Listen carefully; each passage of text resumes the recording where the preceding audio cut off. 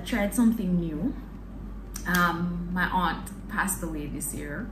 I don't know why I'm smiling because it was really sad and I got this hat from her. This outfit actually is a tribute to her. This is kind of her style. So um, I miss you Auntie Maisie.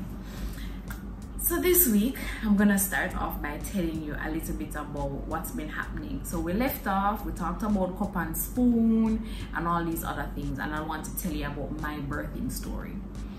All right, so brace yourself because it might be a little long-winded. So welcome. If you're new to the channel, if you're new to my program, I am a mom of twin girls. We call them RJ Crew. And each week I try to share a little bit about my journey as a mother. And from time to time I have little um, surprises with my mom mates who come in to share their stories as well. So I did not have a delivery where I had to push, but I had a cesarean, cesarean section. And I mentioned all of the little fun things that were happening to me leading up to the pregnancy. Well, when I went in, I had my I had my girls at the University Hospital, and I had a pre-scheduled appointment. Leading up to that, I had to take um, my COVID-19 test. Did my COVID-19 test, was ready to go in and prepared. Um, just about a day or two before I was supposed to go in, I realized that twin B had decreased fetal movement.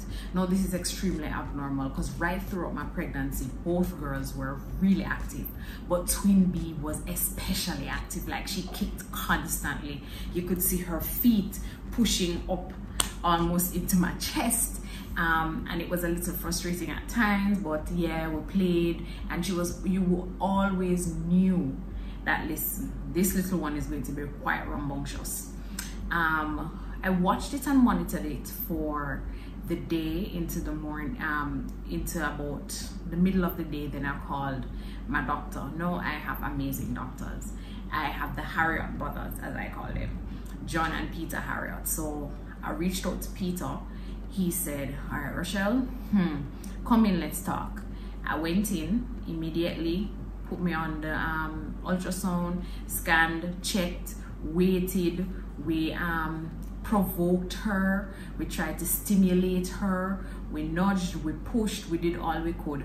And she just decided, hey, hmm, I'm not gonna be moving right now. The heart rate was a little bit slower than was normal. So of course I had to go to the university hospital early. Luckily, I had already had my negative COVID test. So they got me right in and I spent two and a half days in the hospital just monitoring her heartbeat monitoring fetal movement. Twin a was fine you know. She was still quite active and every now and then she push her head down into my bladder just to remind me that mommy you need to go to the potty. Yeah um, fun times. But eventually the strangest thing so when they they strap you up to this machine so they brought me to the delivery room or the delivery ward um, labor ward. And when I was in the labor ward they strapped me to this machine where they put they had put um, so I had to know where the heads were. So one head was here by my belly button which was twin B and twin A was all the way down there. Um, so when they strapped the um, monitor onto both babies and then they tied you around and everything and this is after all the checks and all the excitement of going to the hospital Miss Lady just decided that she was going to kick the monitor away and then she just started to move and kick all over again. But to be on the safe side, even though fetal movement had returned, they wanted to continue monitoring her heart rate. Thank you so much, Dr. Kemlani. She was the, the doctor there and Dr. Maharaj, two doctors that I remember because they were just so sweet and so nice to me. Um, there were others, but I remember those two and I stayed on the ward for two nights then went home. Glad I did because I was a little bit anxious leading up to the to, to my c-section date. So being on the ward watching and observing the other mothers listening to how the nurses were just so patient so caring so kind so compassionate it set my mind at ease. All right good wonderful. The reason why I selected University Hospital is because it has the best reputation when it comes to twin deliveries, um, delivery of multiples, not just in Jamaica, but across the region and parts of North America. Oddly enough, they have a higher um, rate of survival rate. Good. So we get now back to the clinic.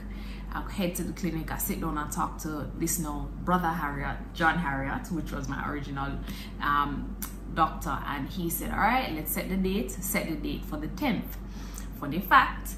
Um, I did it for the 10th because my husband's birthday is on the 10th of January so I figured I'd remember the girl's birthday easier if they're born on the 10th too. Yeah. I'm lazy like that.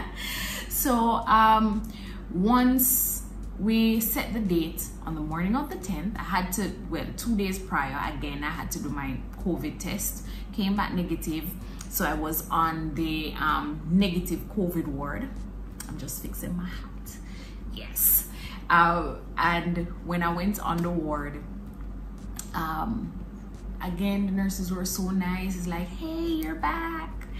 I stayed on, I, I went on on the 9th, which was the day before, well, two days before rather. I went on the 8th, was in there on the 8th, was in on the 9th as well um, and then on the more on the night of the ninth ninth they said okay you can't eat anything more. You need to get up early in the morning to prep for delivery. All right good. So didn't eat anything. Um, actually i didn't really have much of an appetite. And in the morning i got up i did my thing i got dressed i bathed um, i took out my clothes that i wanted to wear um, up to the up to the labor ward yeah funny. And packed up my stuff so that I could be transported onto um, the antenatal ward thereafter. And when we're, we're just before after I showed and everything then I'd get my enema. Never had that experience before. Wasn't painful wasn't uncomfortable but not something I definitely want to do again. It's not like a everyday thing. Mm -mm and then I was being prepped and coached. Um, had to sign some forms, had to do vitals, had to put in my drip, all those wonderful things. And I remember this one doctor came in. This was not Dr. Kemlani, this was not Dr. Maharaj. Dr. Maharaj was doing the prep work. And this other doctor came in to kind of brief me and prepare me for going into delivery and have me sign some forms. And I distinctly remember, this is where I want to focus today's um, episode. She said to me that um, you know that when it comes to delivery, or priority is your life, your survival. So if there's anything wrong with the babies, we just want you to know that your life will take precedence and your life will be our priority and um, not the life of the child or in my case the children. Um, and I said is do I have a choice in the matter? Can I choose the opposite? What do I mean? So I said to her well what I mean is I don't want my life to be the priority. Their lives are a priority. So if a choice needs to be made in terms of whose life to save save them not me she said, no, this is hospital policy and you have no choice in the matter. So this is how we operate. Said, okay, fine, I'll sign it, but this is not my choice. And I'm voicing it to say this is not my decision, but you're telling me that this is hospital policy, so I'll have to comply. I don't know what happened, but she was pretty uncomfortable with what I said because she spent the next 15 minutes lecturing me and I distinctly remember the part that she said that I found so hurtful. Um, so I have been waiting patiently on the Lord to bless me with children for seven years. And this doctor was saying to me, you know, um, you have to think about yourself in this matter um, because your life is more important. I mean, you can you can just get up tomorrow and go ahead and have another baby, um, but you can't. You we, we, you can't. We can't It's not that easy for you to survive. And she was carrying on, and she kept saying, I mean, it's no big deal. You can get up tomorrow and have another baby. Women have baby or babies all the time, so it's not like this is the most important thing. and I am listening to what she's saying, restraining myself and trying to keep composed because of course they're injecting and doing all these other things and the enema and the this and the that. Um, but this lady is telling me after praying and waiting on the Lord for seven years that this is just a random thing. That this the, the, the blessing inside my womb is just something random and the life of these two beings inside of me are not as important as my own. Furthermore, she's trying to convince me that having carried them for eight something months, eight and something months and weeks, whatever, she's trying to convince me that I can do away with them easily. Um, no, when we got to about closer to 20 minutes in this lecture and I got really frustrated. I stopped her and I said, listen, I hear what you're saying and I don't agree. But what about your husband? And it, he has to have a say in it because I'm sure he would want you more than the children. Hmm. So I said, let me tell you something. This is something that I've discussed with my husband. He and I feel strongly about it and we feel the exact same way. Regardless of whatever the outcome or the impact is, we want our girls' lives to be saved.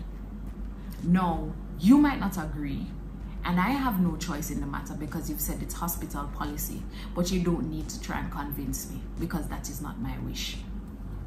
Okay, then.